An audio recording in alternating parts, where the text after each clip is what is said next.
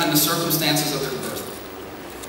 Whatever your parents did for a living, that's what you were allowed to do.